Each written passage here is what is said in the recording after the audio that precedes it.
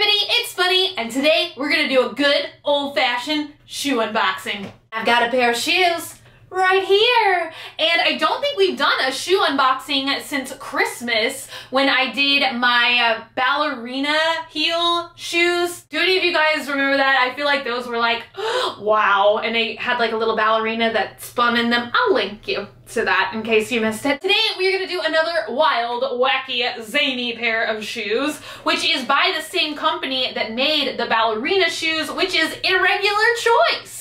I got these from Dolls Kill. I love their shoe boxes because they're kind of like a shoebox, kind of like a shopping bag. It's like really convenient. Like I've been saying a million times, I'm going to New York. And so I'm kind of looking for like fun, different clothing items to wear while I'm there. And I saw these shoes and I was like, oh, gotta have them. Let's just open them up and take a look inside. And I already did put them on, wore them for a little bit, walked around in them for a little bit. So here they are. I guess they're technically called like the dino heels or these are supposed to be dinosaurs.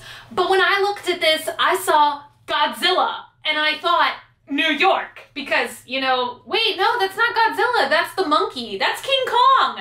Where are my memories? What does Godzilla do? Where where's where's he tearing up? I just saw these and I thought, "Oh my goodness, I'm going to be in a big city with like buildings and like like monster dinosaurs maybe on my feet. Perfect." This is the style that I got, which are kind of like these booty, booty, that always sounds funny when I say it, but they're like, um, almost kind of like gladiator sandal style shoes, but they are also kind of like boots, you know? And then they have like this little, and I actually didn't even notice this online. I didn't notice it until I got it. But there's like this little piece of fabric on the back that almost looks like a dinosaur's back, you know? What are those dinosaurs? Brontosaurus? No, brontosauruses look like the Loch Ness Monster. I really know nothing. But you know, the dinosaurs with the spikes on their back. This kind of looks like that, right? If you love the heel, but you're not that crazy about this style of shoe, they also have it in more of a strappy kind of sandal shoe, but it's fabric that those are made out of and it's like got dinosaur print fabric on it. I just felt like I've got a lot of black in my wardrobe so I wanted to get these because I thought I could wear them more often. I got a size 7. I'm universally a size 7. Size 7 fits in irregular choice. There was no like sizing problem or anything like that. They uh, do take a little bit of practice to walk in. They're not as easy as I thought that they would be, but I told you guys a million times, like wedge shoes are a little bit harder for me to walk in. And I don't think that these are totally like wedges, but they do kind of have, are these wedges? Somebody let me know down below. It's more just kind of like a chunky heel. Here's my complaint. I will just say, okay, that the lining that they choose to line their shoes with, it looks amazing. It looks so awesome. This is like a very shiny gold fabric. And then the sole of the shoe, which I actually talked about this before with the ones that I unboxed at Christmas. It's really hard, I think, for you guys to see the detail in there, but there's like stars stitched on here. It's really metallic. Irregular choice is stitched on here. It's like several different types of fabric. There's like a floral fabric down there. It's cut with pinking shears. So it's got kind of like a jagged cut. I don't know. Can you guys see what's going on down in there? With this shoe, with this gold lining, this I believe is lamé, which is a type of fabric that normally is used for like Halloween costumes or something. This is so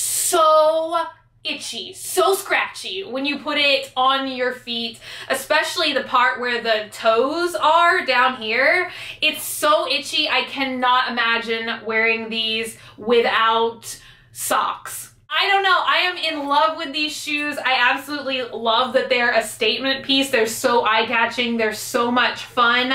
But I almost feel like maybe this is going to be a shoe that I wear more in the fall and the winter when it's kind of more practical for me to layer it with socks. I'm also gonna try and see if I can find some of the really colored ankle socks. The ones that almost feel like tights, the ones that are very, very thin. I think I have one pair right now that has like strawberries or gummy worms on it or something. And maybe I could get away with that really because it would just be like a pop of color that would match Godzilla back here, but it would not like go beyond the ankle and look like a sock sock. Despite the fact that it is really itchy, I am still absolutely in love with it. I just kind of wish that irregular choice, it kind of makes me question like, do they just make their shoes to be like looked at, like statement pieces or decorations, or are people actually supposed to wear them? I love looking at this really cool logo and stuff on the inside and I love looking at the fabric that it's gold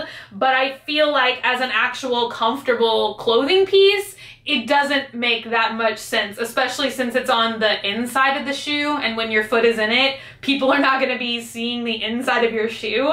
Like when I have them on, maybe you can see a little peep of the gold just at the toe, but it doesn't make any sense that all of these kind of like buckly things, which by the way are adjustable, so if you needed to, you know, tighten them or loosen them, you can do that but I just don't understand why they would like line each buckle strap across your foot with really itchy fabric, right? I just, I don't, I don't understand it. Despite the fact that this is kind of like an action figure, it is solid plastic, it feels like. So it feels like it's something that I can walk on, jump in. I don't think I'm talented enough to run in these shoes. I feel confident enough that I can like walk and not trip and fall down or something embarrassing like that. But I don't think I'd be running very fast. They are a little bit heavy because this is solid plastic, but I'm glad for that. I would rather them be a little bit heavier and more sturdy than like hollow and kind of feeling like something that would break really easily.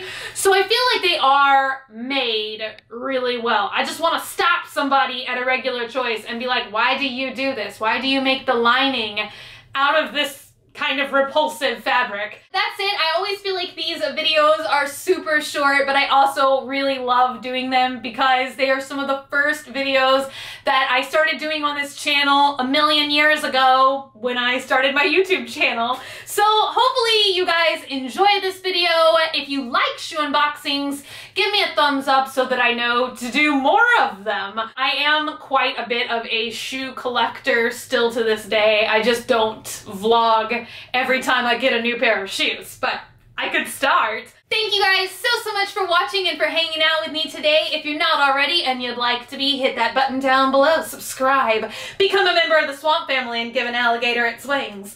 Also, if you want, you can like me on Facebook, facebook.com slash graveyardgirl, or you can follow me on Twitter, Tumblr, or Instagram at graveyardgirl, same way it's spelled here. I don't do that. I normally do same way it's spelled here. I love you guys so, so much, and I will see y'all tomorrow. Bye!